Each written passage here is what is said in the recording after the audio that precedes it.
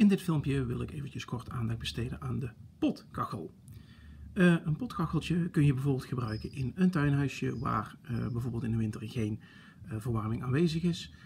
maar denk bijvoorbeeld ook aan mensen die in armoede leven en op een hele goedkope wijze de ruimte waar ze in zitten willen verwarmen zonder duur gas of andere brandstof te gebruiken. Nou, hoe begin je daarmee?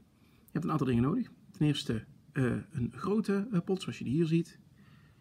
Eentje van een maatje kleiner een onderschaaltje, een verfmengstaafje van de Gamma, die je gratis kunt krijgen, een drietal vaccinelichtjes en een aansteker om het geheel aan te maken. Nou eventjes over eh, het kostenaspect. De grote pot hier die kost 99 cent bij de Intratuin. Degene van een maatje kleiner die is 79 cent. Het onderschaaltje 69. En uh, wat ik al zei, het roerstokje is gratis. En de vaccinelichtjes die kosten 2,8 cent per stuk, want je kunt ze voor 2,79 euro bij IKEA krijgen en dan heb je een zak van 100. Uh, eh, dus ze zijn 2,8 cent per stuk en dat heb ik afgerond in totaal naar 9 cent. En ze hebben een brandtijd van 4 uur. Kom ik in totaal uit voor het geheel op een prijs van 2,56 euro.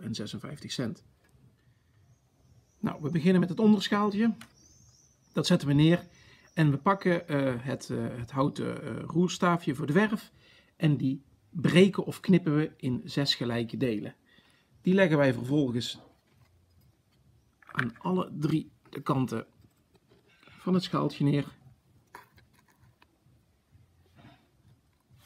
Op deze manier. Nou, vervolgens pakken we de kaarsjes, de vaccinelichtjes, en die zetten we in het schaaltje. En zoals je ziet, passen er daar precies drie in. Nadat de kaarsjes branden, pakken we het kleinste potje en die zetten we over het kleine schaaltje heen. Kijk even goed dat er aan alle kanten voldoende ruimte is voor de lucht om er nog onderin te kunnen komen. Want het idee is dus dat die houtjes die zorgen ervoor dat hier een ruimte onder zit, zodat de lucht onder eh, het potje in kan komen en ervoor zorgt dat de kaarsjes niet uitgaan. Je kunt de potkacheltje op verschillende manieren opzetten. Je zou kunnen zeggen van nou hier laat ik het bij. Dan zul je vervolgens merken dat de buitenkant die zal op een gegeven moment heel heet worden. En die gaat stralingswarmte afgeven. Hierboven komt hete lucht uit.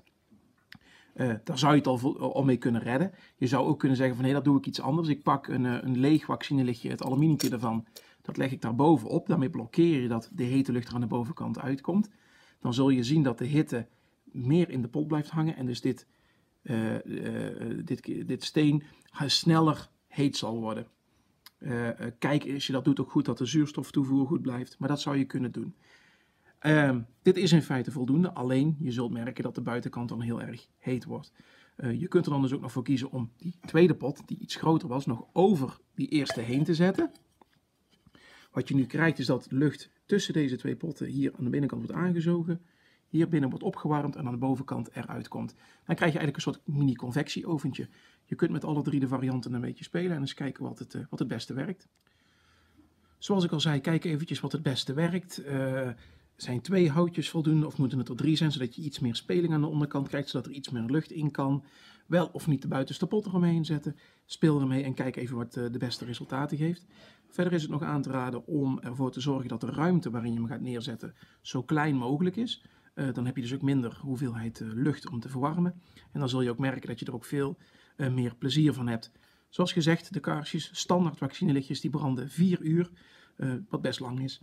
Ehm, dus in totaal met 6 van die kaarsjes zou je een periode van 8 uur kunnen, kunnen overbruggen. En je zou zelfs nog kunnen overwegen om twee van dit soort potkacheltjes naast elkaar te zetten.